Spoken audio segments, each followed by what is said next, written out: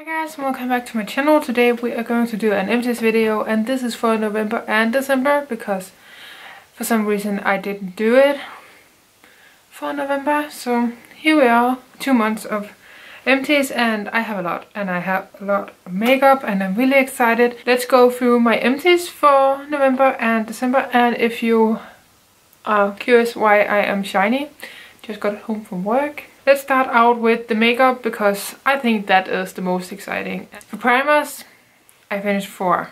Insane, I know. One of them is the W7 Princess Potion Complexion Booster and Primer. I use this as a nighttime serum because this made me so much more greasy than this by a few hours. So this didn't, didn't work for me as a primer, so I used it as a serum and I used it up these past two months last month I think. It is definitely done and I counted this as a primer in my makeup inventory so that is why it is in the makeup part and it will be in my yearly ma makeup empties as well. This primer is pink. It has this dropper kind of. It's really really cool and it is like the Farsali drops. Is it called that? Unicorn drops I think they're called but it's a really really nice product and it is a good primer. My skin just got more oily from it so. the next one is my revolution star primer water gel primer with anise extract. This was a blue primer with a peppermint smell to it. I think it was the perfume part of this primer that my skin didn't like. I used it every other day with another primer that I have here as well. But if I used it multiple days in a row, I broke out from it. It's a nice primer. It is hydrating and cooling because of the peppermint. My makeup did wear longer because of this, but my skin did not like it. Another primer that I will buy again and again and again, and that really works for me, it is the W7 Porefection. It does fill out my pores so it doesn't show through my foundation and so on. This one I am really really sad about. It is the CoverGirl Outlast All Day Primer and Base Makeup Wear Extender.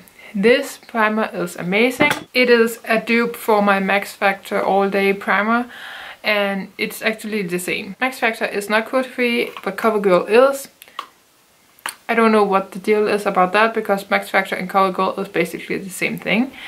But CoverGirl is not to be found in Europe and I'm really really really sad about it because this is one of my favorite primers. This is a creamy primer without it being moisturizing to the skin so it extends the wear of my makeup but it doesn't make me greasy or dry or anything.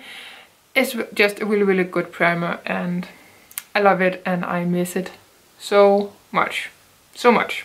I finished up three powders. The first one is my W7 Set It Up Special FX Pressed Finishing Powder. This one right here. I finished up the loose version um, prior this year that I really really liked with the foundation that I'm panning now. This powder is really really lightweight but I went through it so fast. There are 7 grams in this compact but it feels more like 2 or 3 but it is an amazing powder though. It kept me matte and it set down my foundation without it being cakey because a matte foundation can very quickly become cakey. Here in December, I think it was, I had the smallest bit left so I repressed it and now it's done.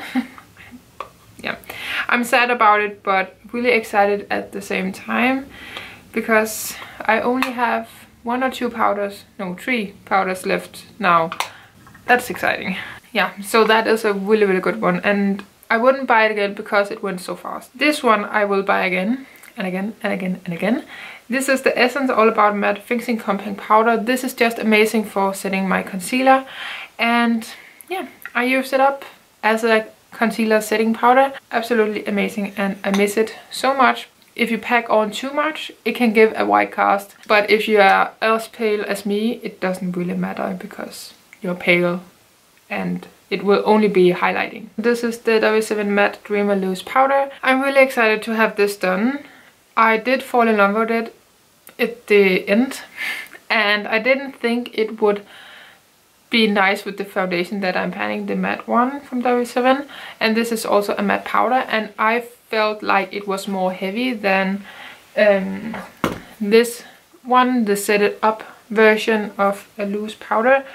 So I was actually really scared to use this, but I went through it really, really fast actually. Yeah, I actually think this is one of the loose powders that I will buy again. And I'm not a loose powder girl, so that says a lot about a loose powder for me. I went through an eyebrow pencil and this is the W7 Stroke of Genius. This was in my whole collection project pan and I was so close at finishing it by the finale that I did for that up uh, the project. And now it's done. It and it is a micro brow pencil with a spoolie in the end. And this is the brunette version that matched this hair color with this brown really really well. And I really like this version of micro brow pencil. Right now I'm just enjoying my powders until I need to use up something else that is not a powder. So this is on my list to buy in the future if I ever want a micro brow pencil because this is really really good. Mascara from Noble Nordic and it is the Hey mascara. It is lengthening and defining and waterproof which is so nice and Noble Nordic is a Danish brand by a Danish YouTuber influencer, I should say. It is an amazing mascara and I love it for my top and bottom lashes and it can it is buildable and it does not transfer. It is completely dry as you may can see here. It is so dry. The applicator is very funny because there's only brush hairs on the sides but if you turn it around it has none. It's really really good mascara and I have a new one in my stash. I don't have it open right now, but I have it and I will always have it until she does not sell it anymore because it's that good. The only lipstick that I have, well only, I don't finish up lip products that often, but I do have a lipstick and it is from Maybelline. It is the Tantalizing Taupe color from the Color Sensational line. And it is looking like this and it is ooh, throwing everything around. It is this beautiful nude color I absolutely love this lipstick, but I am not going to buy it again because it's not cruelty free. It is a beautiful lipstick formula and color-wise and yeah, I really really enjoyed this lipstick so much and my best friend has one as well because I bought one for her just around when I bought this for myself. I have two eyeliners and one of them is my NYX Vivid Brights Vivid Violet color. This is the one. I have had it in two projects this year. My whole collection project pan and then that my This Is Me project pen that I am still doing. I don't get a lot on my brush and it is totally crumbling. Yeah, it does not transfer anymore, so I call it done. Another eyeliner, it is the P2 Impressive Bolivia, I think. It is a burgundy purple eyeliner and I can't sharpen it anymore and it is dry so I am calling it done. I'm really excited about this. I have tried to pan it for like two years now and it is finally done and no more of those kind of pencils in my life. I have my NYX Jumbo Eyeshadow Pencil in Milk. This is done and dry and I can't sharpen it anymore. I'm really excited about this being empty because I worked on this the whole year for the whole year. It, it was in my 19 and 19 and I just finished it here in December. It has been breaking on me every time I tried to sharpen it. So I think it was on the last leg this year and I'm really excited to call it done. And one less cream shadow in my collection. I am going to declutter this. This is the Maybelline Color Tattoo in Permanent Taupe. I had this in my Roulette Pan collab and I used it as an eyebrow shade. It is pulling away from the edges and it has been doing that for so long and I'm so sad that I didn't start on working on it before that because now it's just too dry and crumbly and it doesn't perform that well anymore. I did love it as an eyebrow color and if you can still get it and you want a cream product for your brows that is cool toned and kind of taupey. It is a really really nice product and creamy and you don't need a lot so it takes forever, but I'm not going to buy it again because it's not cruelty free and it's dried up. So yeah.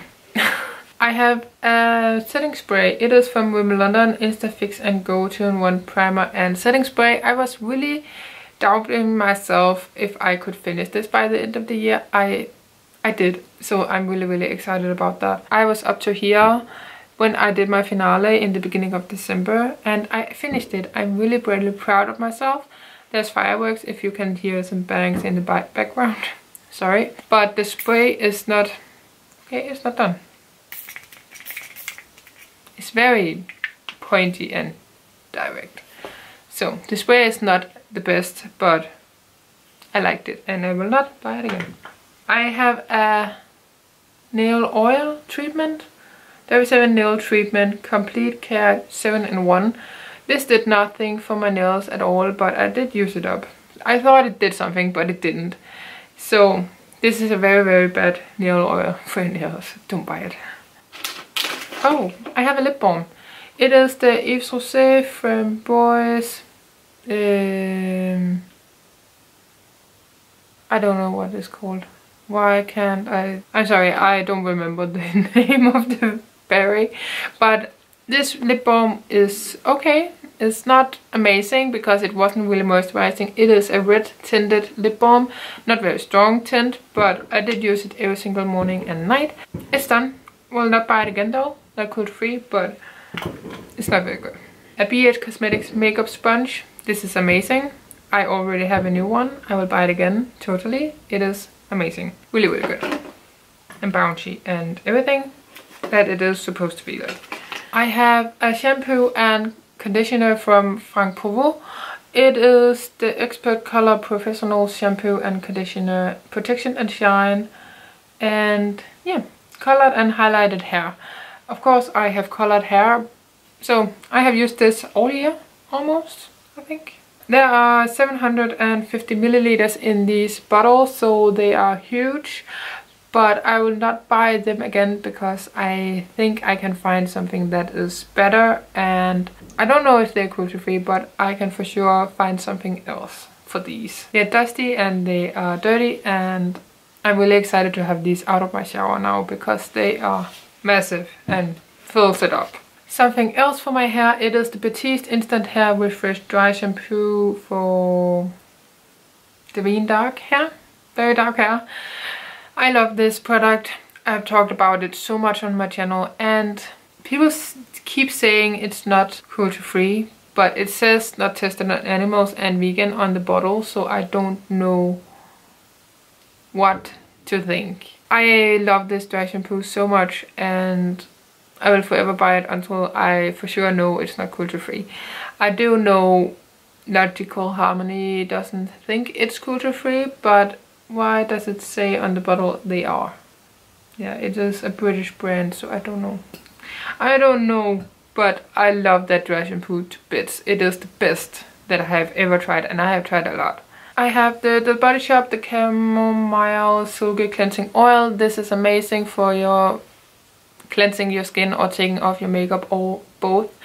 It is absolutely amazing and I will for sure buy it again. I have a new one that I got for my birthday going and I'm just really excited to have it back up and I will buy this again when I run out of the other one. It doesn't go by very fast. I use this up in like three months and I use this every time I uh, remove my makeup except for the 20 times that I used these wipes that I'm going to talk about in a minute. So this is really really nice and if you want a cleansing oil that is cruelty free and everything, this is amazing and it does the job. It melts it right off. So quick and easy. Money's worth, definitely.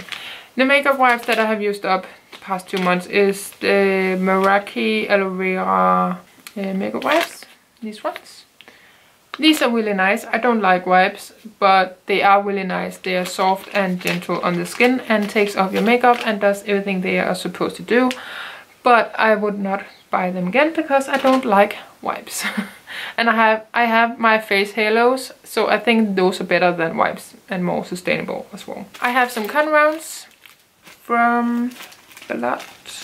I don't know, Danish I think. But I'm not going to buy any more uh, rounds than I already have because I for my birthday I got some reusable con rounds. Um, so I'm really really excited about not buying these plastic and not reusable cotton anymore in the future. I used up uh, a micellar cleansing water. It is from Nilens Jord, a Danish brand. This is really really good but I think it is too expensive for what it is. It is just micellar water to remove the remaining makeup bits on my face after I have used the cleansing oil. So I don't think this is money's worth, but it's nice. So if you want some cruelty-free option in Denmark and you don't want to buy from Matas or anything else, this is really, really nice, but I would not buy it again. I got it as a gift last Christmas, I think. Used up a toothpaste, Zendium, not cruelty-free, and I will not buy it again because I have found a cruelty-free option, and I'm really, really excited about that. That is the Forever Living toothpaste. I just used it because it is what doesn't give me blisters in my mouth. A small sample, deluxe size sample of the Palmolive Naturals Ultra Moisturizing Shower Milk. I did like this. I didn't like the scent though. And it's not cruelty free so I'm not going to buy it anytime soon. This is the nighttime, yeah, night cream and this is the Honey Sleepy Mask. The night cream I love to bits and my boyfriend did too. He helped me because I have get, gotten him into the habit to use some skincare. This is amazing. Totally recommend this one. So this is lightweight and it is sinking into the skin really fast and I just really really love this night cream because your skin feels hydrated when you wake up even though it's so light and you it's empty. Well i love it and i will buy this again for sure. It's very cheap actually. This one is very cheap and really really really good. I already have a backup of this. The only reason i don't have a backup of this is that i have so many lotions in my stash. This one though i don't own a lot of masks. Now I do after the Body Shop advent calendar but this is a really really really really good mask and I do use the one that I have from him. It is the Honey Sleepy Mask as I said and it is just a really really good one. I am so, my skin is so plump and moisturized in the morning after I have used this. I sleep with it. This is a sleepy mask. Sleeping mask.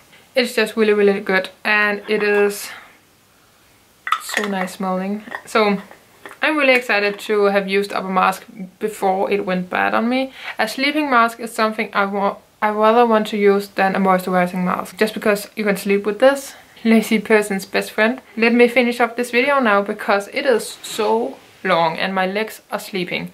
I'm... It hurts. I hope you guys enjoyed this video. If you did, give it a like, subscribe down below if you want to see more. Check out my other videos on my channel. I have a lot of Pretty Pan finales and intros to come and this into series that I am doing. I do them every, every month. The past two months have been so crazy busy for me, so that is why I have combined them. I kind of regret that now, but I hope you guys enjoyed anyway and look forward to my makeup empties for 2019. I'm really excited about it to see how much I finished. With this month of makeup empties, I think I have a really nice bag. It is the one that is standing right there in all of my videos. I hope you guys enjoyed and until my next video, please take care. Bye!